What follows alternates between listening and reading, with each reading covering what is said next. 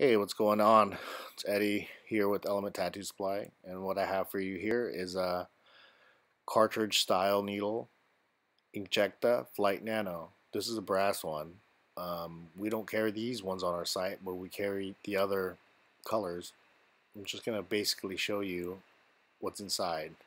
Here we have the standard tension bar that it comes with. Um, it comes with three other tension bars, which is medium. Well, actually, the stiffness is soft, medium, and large. Comes with um, a little quick guide.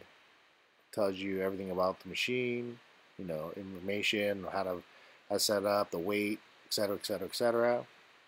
it also comes with this little piece of paper um, on how to set the machine up. It's pretty straightforward. It's pretty simple. Um, I set mine up probably like in two minutes, put everything on, and was ready to go. Um, that's pretty much it. I'm going to show you these tension bars again. They look pretty cool. I think this one is the medium, and then you got the soft, you got the hard, which is the first one, and that's what comes in the box alongside with um, a little bit of an O-ring, little Allen wrench key, just little accessories, and this is pretty much it. Comes in this nice little case, and that's the Inkjecta Flite Nano brass. I haven't used this yet, the black one, but I will one day.